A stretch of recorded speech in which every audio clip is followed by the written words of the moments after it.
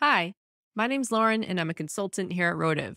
We're an official Salesforce partner, and we help small businesses automate their processes. Today, I'm going to show you how to add a field to a page layout in Salesforce. And there are a couple ways that you can do this.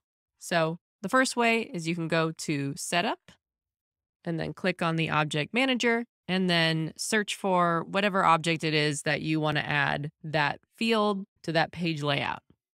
Now, the second way is kind of the shortcut way. You would find the object that you want to add a particular field or modify that page layout to, click within that object record. So you can see here, we're under contacts. I've clicked on a contact record and we're in the details section here. And we know we want to add a field to this particular area in the page layout.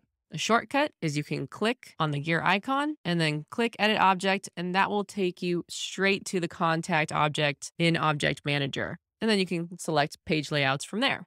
From there, you select the appropriate layout and you have all your fields up here that you can now add to the page layout. So from here, you would just click and drag and then hit save. And now you've modified the page layout. If you would like to remove a field, you can just go back in and then click the remove button and then hit save again. One thing to note is that when you do add a field to a page layout in Salesforce, it will take time for those changes to take effect. So if I were to go back to the contact after adding that field and refreshing it, it might be a while before you see that new field show up on the page layout. So give it some time. I hope you found that helpful. If you did, please click like. If you would like more Salesforce tutorials, please click subscribe and have a great day.